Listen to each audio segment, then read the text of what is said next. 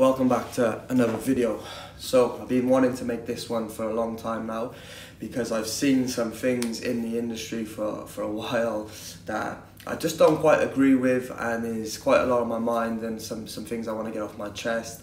And also I put myself in the client's shoes and I, and I thought to myself, why, why are they, they time after time choosing the wrong trainers for themselves? And it's because they don't know. They, if you don't know any different, you don't know. So this is why I want to do make this video and hopefully help someone out that is out there that wants to get a personal trainer and doesn't quite know what to look for. Before we start, I hope the quality is good. It's a front facing camera I'm on here. I wanted to do a nice backdrop like we have here from our bedroom window, but I'm not that good when it comes to YouTube and cameras and everything, just using my iPhone.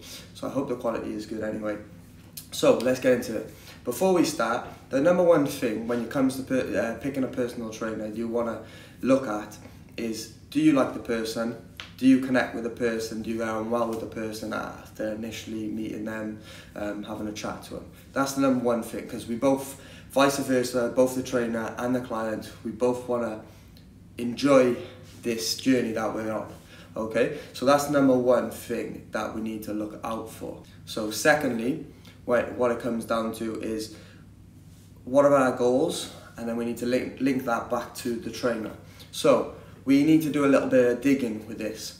And we can dig when we first meet the trainer when we want to we want to basically question everything. You want to and the questioning everything is a good thing because it helps you gain a bit of a better understanding about their knowledge and who they are as a person and what they've done and etc and etc so yeah, you want to question everything, you want to fire away a lo load of questions that are going to help you um, get a better understanding if that person is right for you. Because I always say, not every trainer is for every client and not every client is for every trainer. That's what we want to do. Questions, questions, questions your initial meetup, you want to ask loads of questions, and then you also want to do a bit of research on their social media profiles. You want to you want to look at what they've done. If there's any clients that you know that they've trained, you can ask them what they what they're about.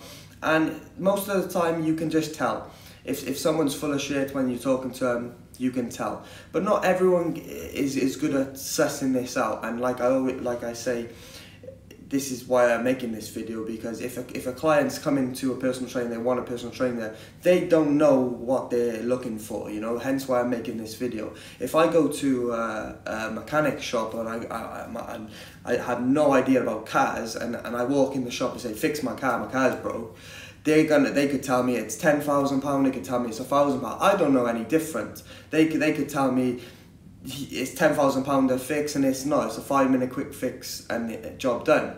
So I don't know what I'm looking for. The way I, a good a good sign around this is say say I'm looking to be a CrossFitter, and this person doesn't do CrossFit. Why am I going with that person?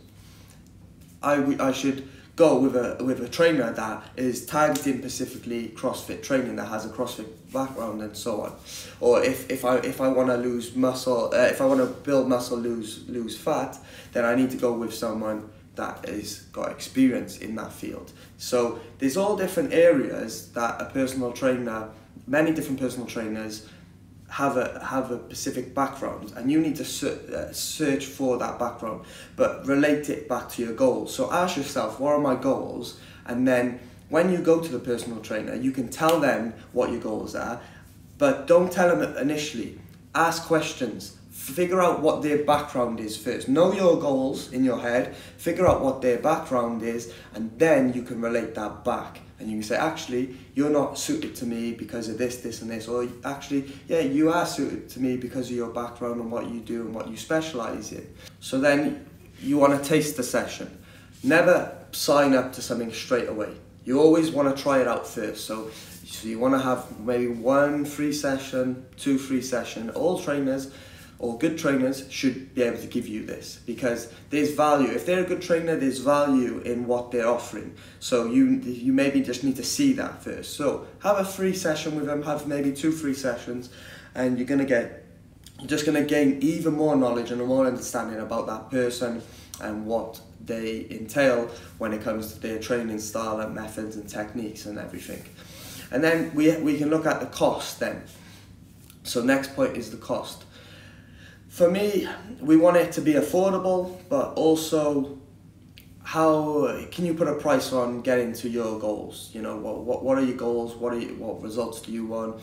And the things if you, if you if you feel like the things that they, this person's going to teach you that you can carry on for the rest of your life, I mean, price doesn't really matter too much, does it? But then if you if you if you're someone that doesn't really care about the results, you just want to get out of the house, you just want to go to the gym, then you can probably choose a, a, a bad trainer and, and a cheap price and all the rest of it. But um, this video is not for people like that. This is for people who are serious about getting results, serious about making a change in their life, and they want to just make sure that their money is getting used wisely with a, a good trainer, you know? So you've met your personal trainer, you've asked the questions, you've done a bit of research on them, you're now going into your first session or your second free session, and what should you be looking for now? Your knowledge is not good uh, with anything that that trainer is doing now. So you, you don't know anything. You're, you're just fresh in the mind going into this. What we need to look out for is, is the person engaging with you? Are they are they watching everything? Are they critiquing everything? Are they making sure things are, or are they just going stand there one, two, three, four, stop timer, or like we, we need to, to, to know that they they know what they're doing you know? They're the one in control. They're the one um, talking to you giving you advice throughout the training session telling you why we're doing this exercise why we're doing this why we're doing that.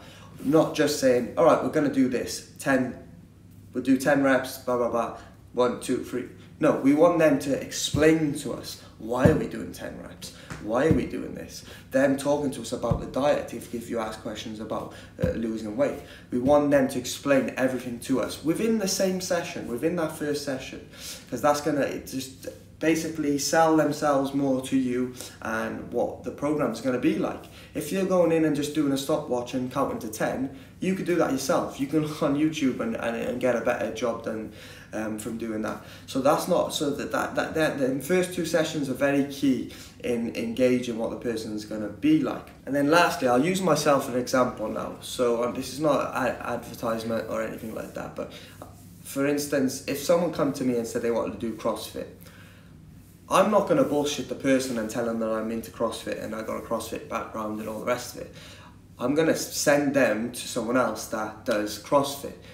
But a lot of people, they just take the money. So if you go to them and you say, oh, I want to do CrossFit, and they go, yeah, yeah, I'll just do some CrossFit with you. Well, this is why I made this video and this is why you need to ask all these questions and, and do all these um, steps in order to, to make sure that you're getting value, you're getting the right person, you know? If someone said to me, I want to lose, I want to lose um, fat and build muscle, then that's my background. That's what I specialise in. That's what I've done. I've, I've done a bodybuilding show. I've gone from from high body fat levels that, and I've and I've binged on my diet, and then I've cut on my diet, and all the rest of it. And I've gone back down to, to sub ten percent body fat. You know, I have experience in this, and then I, I've trained clients the same way and it's worked for them you know the diets work for them they've got the results they want so this is this is my background yeah i'm not i'm not i haven't got a background in, in crossfit or powerlifting even so so i'm not i'm not gonna to act like I know about all that. But if you ask me about building muscle, losing fat, um, I know exactly how to do it and, and all the things I need to do to, to, to go on through that, you know? And that'll come across as I'm talking about it. Whereas if I don't really know what I'm doing or talking about it, that also come across. So look out for that. So what does personal training mean to myself? Like what what is this job? What is the the because in personal training, all different personal trainers they have different backgrounds. So what does it mean to me and what does it relate to me? So the way I see personal training is like a spiritual um, practice, so to speak. Why do we say that yoga is all spiritual and seen as hippie and stuff like that?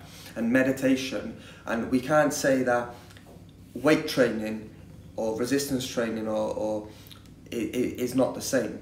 For me, it's a spiritual journey, it's a spiritual practice. We're going in, we're moving our body, we're moving our muscles, you know, we're, we're focusing on the mind muscle connection. To me, it's about spiritual. It's, we're not just going in and pushing weight from A to B and we're just picking up this exercise, picking up this weight and doing this and burning a sweat. There's so much more to it than that. You know, we're, we're, we're doing something, we're changing our body, which is just an amazing thing, you know, and I think we need to to acknowledge that, and that's what I like to do with my clients. I like to to tell them that think about the exercise as we're doing it, and if I see them doing it uh, and they're not really thinking and they're not really engaging the muscle, they're not really stressing the muscle, they're not really focusing form, then I will tell them that and I will adjust them and and and, if, and I will keep adjusting them if we can. Then we move on to a different exercise. You know, that is the things that I believe this is from my background though. This is how i like to do things and this is what works well for me over the years and this is what's worked well for my clients. So this is the sort of stuff that i do with my clients. When i'm in the gym i'm not just counting to 10 1 2 or go next set okay using a stopwatch and i'm not like this is this is what i see time and time again. There's personal trainers out there that not once do they do they they correct someone's form. Not once do they tell them about the squeeze control and the mind muscle connection. When it comes to building muscle, the eccentric rep of the uh, of the rep is the most important. That's what's tearing the muscle fiber the most. Time under tension. If we do uh, three seconds down, or if we do one second down, what do you think is going to tear the most muscle fiber into and build more muscle? The three second time under tension negatives down, you know. But I don't, I don't see these people even telling their clients this, and you know why? Because they don't know this themselves. They haven't done the research. This is not their passion. This is not their true passion. Like I've done many different jobs in my life, and I'm shit. I was shit at them. I, I, I didn't really. I was blagging it like they're blagging a personal training, you know. So so when you find something that's your true passion, that's where your true, you know, everything, experience, knowledge, uh, it's going to transfer over to the client. And then they're going to learn so much that they don't need you after that. Like, uh, it's quite a few of my clients that have finished, they've left because I like to think that I've taught them a lot where they, they don't really need me now. They can they can do everything on their own based on, on what their goals are going forward. Maybe they just want to maintain now. They've built the physique that they want. They just want to maintain. They know everything, all the tools and everything that they need to, to, to, maintain that. So I, I don't understand when people also have a trainer for like two years and stuff. That trainer must be terrible. If you if you if you get a trainer for the program that trainer set with you at the initial time where they said it's going to take 12 weeks for you to get to this or whatever. After that 12 weeks you should be able to go on your own then that you've learned it's like reading a book. You've learned that book then you can go and apply it to your to your own life in your, in your own time in yourself when you go to train yourself. You shouldn't need a trainer forever. So that's my thoughts on everything when it comes to personal training. I don't know if I've been rambling or if it's come across as good but anyway that's my thoughts if you liked the video, if you've got any other questions when it comes to personal training, drop a comment in the box below and I'll get back to you. I reply to all, all, all my comments on the channel. And um, yeah, I guess I'll see you in the next video.